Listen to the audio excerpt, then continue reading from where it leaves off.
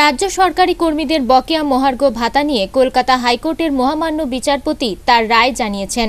কেন্দ্রীয় সরকারি হারে অবিলম্বে রাজ্য সরকারি কর্মীদের মহার্ঘ ভাতা দেওয়ার নির্দেশ দিয়েছে। কিন্তু রাজ্য সরকার এখনও মহার্ঘ ভাতা দেয়নি বলে অভিযোগ। এর প্রতিবাদে মঙ্গলবার দু ঘণ্টার কর্মবিরতি পালন করল পূর্ব বর্ধমান জেলার বর্ধমান জেলা আদালতের কর্মীরা। বর্ধমান জেলা আদালতের কর্মী অনিল চট্টোপাধ্যায় জানান, নিত্য প্রয়োজনীয় জিনিসের দাম যেভাবে বৃদ্ধি পাচ্ছে তাতে তাদের সংসার চালাতে সমস্যা হচ্ছে। এরূপ পরিস্থিতিতে রাজ্য সরকার তাদের প্রাপ্য মহার্ঘ ভাতা থেকে বঞ্চিত করছে বলে অভিযোগ। আমাদের আজকের যে আন্দোলন তার বিষয় হচ্ছে আমাদের বকেয়া মহার্ঘ ভাতা সেই মহার্ঘ ভাতার দাবিতে আমাদের আন্দোলন। কারণ আপনারা জানেন যে দীর্ঘদিন ধরে মহার্ঘ ভাতা বাকি আছে এবং সবথেকে বড় কথা হচ্ছে ইদানিংকালে মহামান্য হাইকোর্ট যখন একটা স্পষ্ট বার্তা বা নির্দেশ দিয়েছেন সেই নির্দেশকে অমান্য করে কর্মচারীরা তাদের ডিএ থেকে বঞ্চিত হচ্ছে। তার বিরুদ্ধে আমাদের এই আন্দোলন। আপনি প্রশ্ন করেছেন, আমরা কারা? এটা আপনাদের জানা দরকার। আমরা সারা পশ্চিমবঙ্গে যে আন্দোলন হচ্ছে, তাদের নীতিগতভাবে সমর্থন করেছি একথা একথা সত্য। কিন্তু আমরা হচ্ছি সাধারণ কর্মচারী, পূর্ব বর্ধমান জেলা জজ আদালতের একেবারে অরাজনৈতিক সংগঠন কোনো রাজনৈতিক এখানে আমার বিভিন্ন রাজনৈতিক দলের প্রত্যক্ষ, পরোক্ষ সদস্য আছে, কিন্তু তারা একটা জায়গায় এক হয়েছে যে যখন সারা ভারতবর্ষ জুড়ে পশ্চিমবঙ্গ তার ব্যতিক্রম নয়, নিত্য প্রয়োজনীয় জিনিসের দাম আকাশ ছোঁয়া, যেখানে পেট্রোল দিন দিন বেড়ে যাচ্ছে, গ্যাসের দাম বেড়ে যাচ্ছে, কয়লা থেকে শুরু করে প্রত্যেকটা দিয়ে ইভেন আপনার ওষুধের দাম, যেখানে করোনার বাজারে ওষুধ নিয়ে মানুষ নাচাল, সেই জায়গায় যখন দাম বাড়ছে, আমাদের আয়টা কিন্তু একটা জায়গায় ফিক্সড আমরা কোথাও মনে হচ্ছে বঞ্চিত হচ্ছি।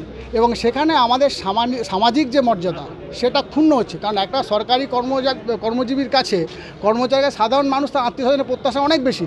কিন্তু আমরা সেই জায়গায় ফিক্সড আছি। স্বাভাবিকভাবেই আমাদের বিবেকের তাড়নায় আমাদের কোথাও একটা মনে হয়েছে কর্মচারী ভাই বোনেদের যে, এই যে সুযোগটা আমরা পেয়েছি, এই সুযোগটাকে সমর্থন করা দরকার। সেই জায়গায় দাঁড়িয়ে থেকে আমার কর্মচারী ভাই বোনেরা এখানে যারা আছেন, তারা একত্রিত হয়ে এই সিদ্ধান্ত নিয়েছি।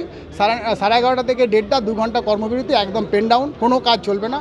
এবং আপনাদেরকে আনন্দের সঙ্গে জানাচ্ছি, সংগঠিত সংগঠন না হলেও আমার গোটা কোর্টে একটা কর্মচারীকে দেখতে পাবেন না, যিনি কোর্টের মধ্যে আছেন। মানে স্বতঃস্ফূর্ত সারা তাদের সারাতেই আজকের আন্দোলন। চলবে চলছে চলবে। দাবিতে আমাদের আন্দোলন চলছে চলবে। চলছে চলবে। আমাদের দিয়ে দিতে হবে দিতে হবে। দিতে হবে দিতে হবে।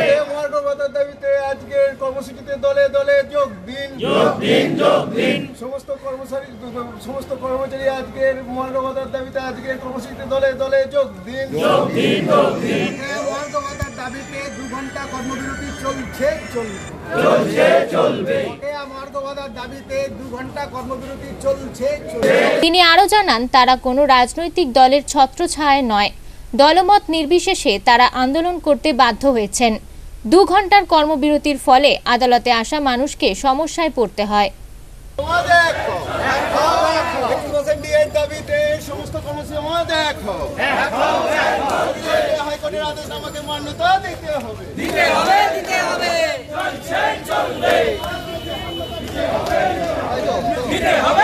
বর্ধমান থেকে পিন্টু প্যাটেলের রিপোর্ট আনন্দ বার্তা।